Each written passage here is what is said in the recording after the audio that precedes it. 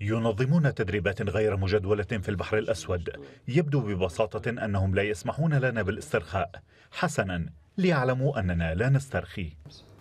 روسيا لا تسترخي وتتعقب تدريبات حلف شمال الأطلسي في البحر الأسود وينفذ طيرانها طلعات يومية لمرافقة طيران الناتو الاستراتيجي لطرده بعيدا عن المجال الجوي الروسي.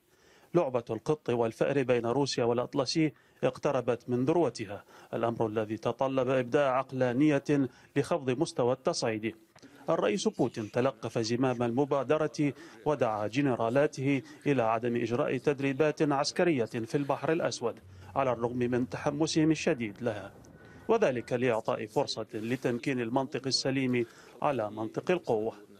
لا شك أن بوتين لمس من تصريحات نظيره الأمريكي الأخيرة عدم رغبة جو بايدن في المزيد من التصعيد ولا سيما على مسار أزمة اللاجئين بين بيلاروسيا وجارتها وما يخدم الجنوح إلى تبريد الجبهات مبادرة مينسك إلى إيقاف استقبال المسافرين من مواطني بعض دول الشرق الأوسط والإعاز لخطوط الطيران البيلاروسية إلى الالتزام بذلك فورا.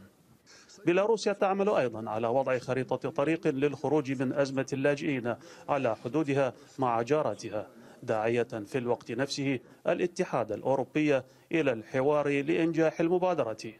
مينسك التي لوحت بإيقاف إمدادات الغاز إلى أوروبا عبر أراضيها تعول على دعم الحليف الروسي في إطلاق هذا الحوار. ولم يكن من قبيل الصدفة أن ترسل روسيا فوجا من المظليين لإجراء تمارين عسكرية مشتركة مع بيلاروسيا ليكون الحوار المزعوم معززا بالقوة.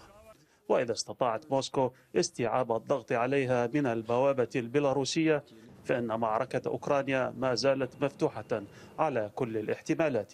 كذلك سد الثغرة البيلاروسية يفتح التسجيل لصالح روسيا في هذا النزال الطويل.